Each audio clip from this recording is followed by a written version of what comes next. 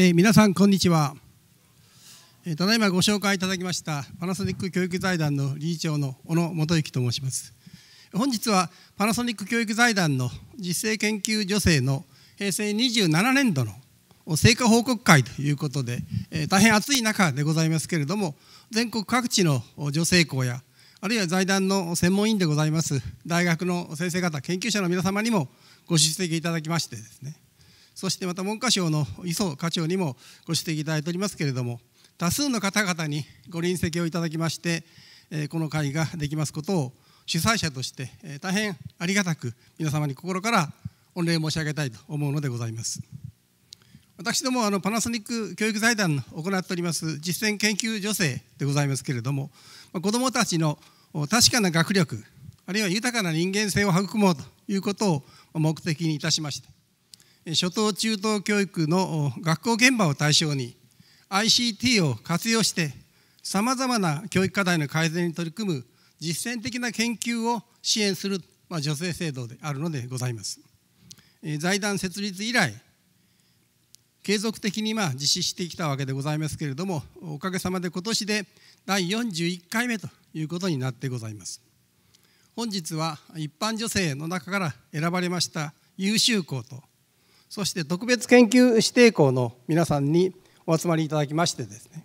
実践研究の取り組みをとその成果をじっくり発表していただこうと思っているのでございます。助成期間が2年になっております特別研究指定校には2年間の取り組みの過程をその過程や成果を発表いただきましてですね研究の内容だけでなくて取り組みのためのノウハウでございますとか成果の定着あるいはその成果の普及、まあ、そういった方法等についても、まあ、他の学校の参考にもしていただきながらですね地域のリーダー的な学校あるいは全国のモデル的な学校になってほしいという気持ちを守っているのでございます。また今年度は新たな取り組みといたしまして助成期間が1年の一般女性の学校からがまとめられました研究成果の報告書を大学の先生方研究者の方々に評価をしていただくということを行いました。で本日はその中の優れたものを表彰いたしましてですね代表校に発表いただこうと思っているのでございます。特別研究指定校と一般女性校、まあ、それぞれ多様な学校の取り組みと成果をですねできるだけ多くの方に知っていただいて全国各地で実践研究の充実や発展に取り組んでいる学校に参考にしていただければと、まあ、思うのでございます。あの文科省では現在新しい教育課程の検討等もなされておりますしですね、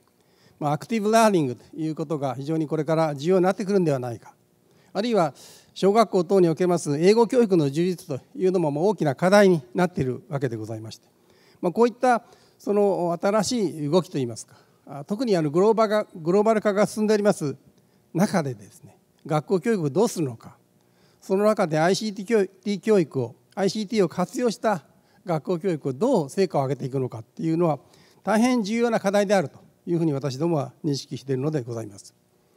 おそらく今後タブレットが子どもたち一人一人に使われる時代が当然来るでございましょうしそういったものを活用してですねまさに今までのように授業で先生が話すことを子どもたちが聞いてそれをメモするっていうだけじゃなくてですね課題に対して子どもたちの側からアクティブに考えていったり創造性を磨いたりあるいは質問したりさまざまな形でですね学校教育がこれから変わっていこうとしているわけでございましてその中におきましてこの ICT を活用するということは私は大変大事なことではないかと思うのでございます。あの今回の、ま、女性校の皆様にお願い申し上げたいと思うんでございますけれどもその実践研究の成果の定着と普及の取り組みをですね今後も取り途切れることがなく継続的に発展的に行っていただければというふうにも思うのでございます。もちろんあの地域の先端的な学校として、えー、最先端を走る学校として多くの学校に参考にしていただきたいしその取り組みに対してそれ以外の学校からもこういうふうに改善したらいいんではないかというような意見も当然あり得るわけでございますけれどもいずれにしてもこの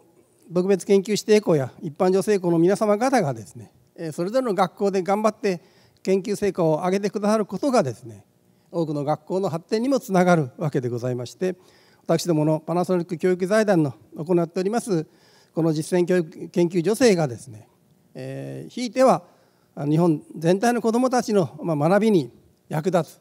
新しい時代の学習に役立つということを私ども財団としては心から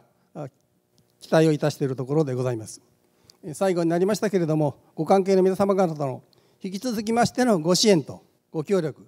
そしてあのアドバイザーとして多数の大学の先生方が来てくださっておりますけれどもこれからも私どもの財団あるいは学校に対してですねご支援とご協力をいただければと思うのでございます。本日は本当にお暑い中を多数お集まりいただきまして誠にありがとうございます。心から御礼を申し上げます。ありがとうございました。